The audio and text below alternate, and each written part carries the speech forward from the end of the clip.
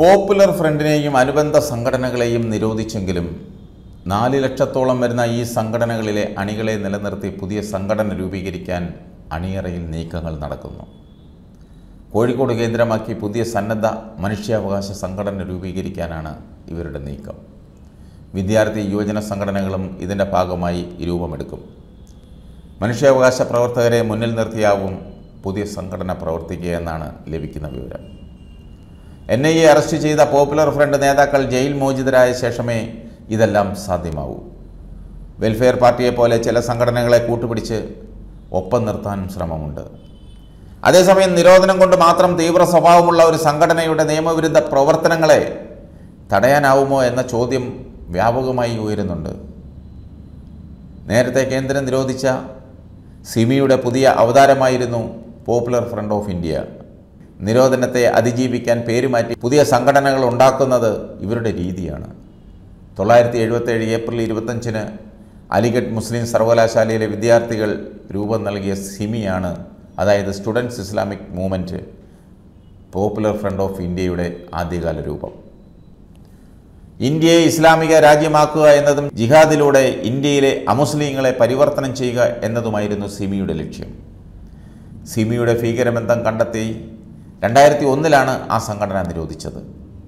രണ്ടായിരത്തി എട്ട് ജൂലൈ ഇരുപത്തഞ്ചിന് നടന്ന ബാംഗ്ലൂരു സ്ഫോടന പരമ്പരയും രണ്ടായിരത്തി എട്ട് ജൂലൈ ഇരുപത്തി അഹമ്മദാബാദ് സ്ഫോടന പരമ്പരയും ആസൂത്രണം ചെയ്തത് സിമിയുടെ മറ്റൊരു രൂപമായ ഇന്ത്യൻ മുജാഹിദീൻ എന്ന സംഘടനയാണെന്ന് ഗുജറാത്ത് പോലീസ് കണ്ടെത്തിയിരുന്നു. സിമിയുടെ നിരോധനത്തിന് ശേഷം പിന്നീട് ഉയർന്നു വന്ന സംഘടനയാണ് എൻ ഡി എഫ് അഥവാ നാഷണൽ ഡെമോക്രാറ്റിക് ഫ്രണ്ട്.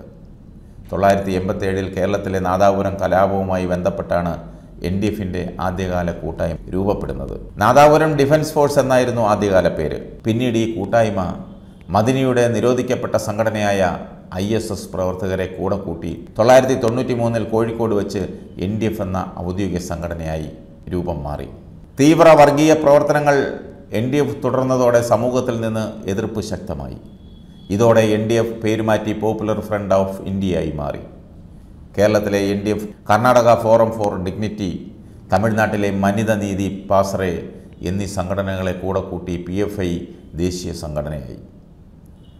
ആന്ധ്രാപ്രദേശിലെ അസോസിയേഷൻ ഫോർ സോഷ്യൽ ജസ്റ്റിസ് ഗോവയിലെ സിറ്റിസൺസ് ഫോറം രാജസ്ഥാനിലെ Community Social and Educational Society പശ്ചിമ ബംഗാളിലെ നാഗരിക് അധികാർ സുരക്ഷാ സമിതി മണിപ്പൂരിലെ ലൈലോങ് സോഷ്യൽ ഫോറം എന്നിവയെല്ലാം പോപ്പുലർ ഫ്രണ്ടിന്റെ ഭാഗമാണ്. ഇതൊക്കെ ഉണ്ടെങ്കിലും അവരുടെ പ്രധാന തട്ടകം കേരളമാണ്. പോപ്പുലർ ഫ്രണ്ടിന്റെ ആസ്ഥാനം ഡൽഹിയാണെങ്കിലും ദേശീയ നേതാക്കളടക്കം പ്രവർത്തകർ ഏറെയുള്ളതും പ്രവർത്തന തട്ടകവും കേരളത്തിൽ തന്നെയായിരുന്നു.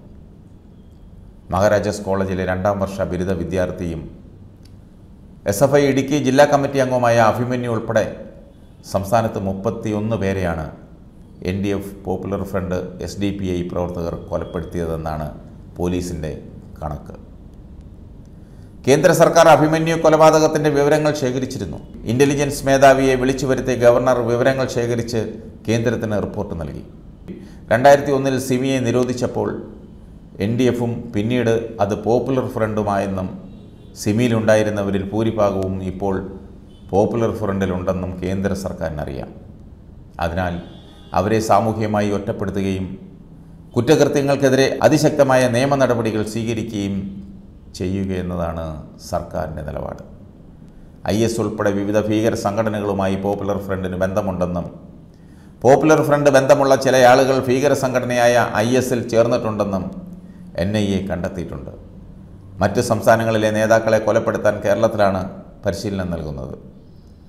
കർണാടകത്തിലെ മുൻ കോൺഗ്രസ് മന്ത്രിയും എം എൽ എയുമായ തൻവീർ സൈറ്റിനെതിരായ ആക്രമണത്തിന് പിന്നിൽ പോപ്പുലർ ഫ്രണ്ടാണെന്നും പ്രതിയായ ഫർഹാൻ പാക്ഷയ്ക്ക് പരിശീലനം നൽകിയത് കേരളത്തിൽ വെച്ചായിരുന്നുവെന്നും കർണാടക പോലീസ് കണ്ടെത്തിയിരുന്നു.